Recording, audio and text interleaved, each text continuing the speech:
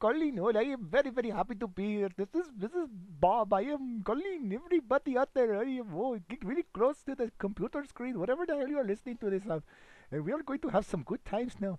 I am going to play the music that from my country. That oh, great music. Oh, we got David Hasselhoff. Oh, he is very good in my country. He's like, Kit, you know, stuff like that. Oh, very good song. Oh, yes, yes, yes, very good. We're also going to play another good song from my country. Oh, this is this is a song that the men sing uh, to their wives, their sisters, their cousins, whatever the hell they are singing to. It's like I love you.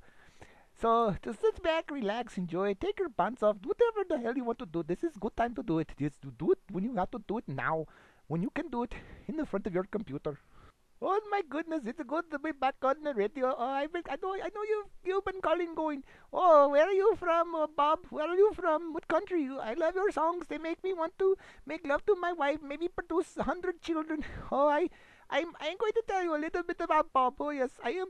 My name my name is Bob, and I am from a country far far away called Duluth. Oh yes, it is a very cold country. We are very cold. We are always shivering, going, "Oh, it is cold here in fucking Duluth. We should leave, go someplace warm, like Fargo. Oh, but it is warm in Fargo. I hear it from the sky. He's, he's, he's always saying, "Oh, Fargo, very nice and warm. Uh, tropical trees and shit."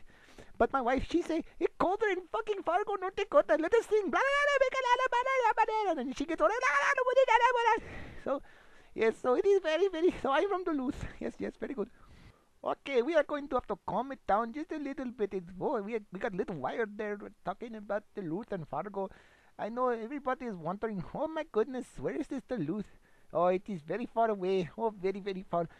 You have to get on Greyhound bus in like somewhere like like like Mexico City or something, and you have to drive up the go drive up the thing, and they they stop you at the border and they say, Maybe your green card. And I say, I do not have green card. I have MasterCard. But they say, that not correct card. You must get the correct card.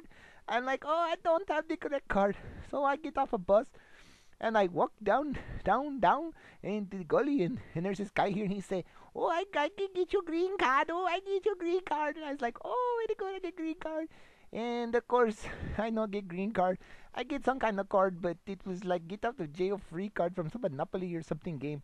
What the fuck? I got I got ripped off. God damn you stupid broker you buy oil. Yes, so I finally I, I finally get something I finally get into this to this country, you know, I am sneaking I am sneaking into this country and this guy finds me, he says, Hey do you you want to be on the radio? I said No, I don't want to be on the radio. I, I, I just want to go where it's nice and warm and I can go, oh, I am nice and warm. I am nice and warm. And he say, "Oh, I got place for you." He so he sends me to Canada. I, I don't think it is much warmer here in Canada, and it was in Duluth. Oh God, I, I, but I am on radio. I have heater. It barely keeping little shack warm. It is okay. I am. I am very happy to be uh, something called American something. I do not know. I don't think America is part of Canada. It could be. There's a lot of people around speaking English. They're going, "Hey, don't you know? Hey." And a boat? I don't know about no boat. I tell him, I don't know about no goddamn boat. Get away from me, you Canadian bastards. Okay, I, I've spoken uh, very not much about myself. I, I now, now you know about Bob. Bob is a very nice guy, very nice guy. So please keep listening, keep keep writing your, your erotic emails to me about how you are naked and you are sending me your pictures and stuff. And I am going, ooh la la la, oh, oh very good, oh yes. I I am out for tonight, so Come back some other time and we will play Name That Tuna Fish. Good night.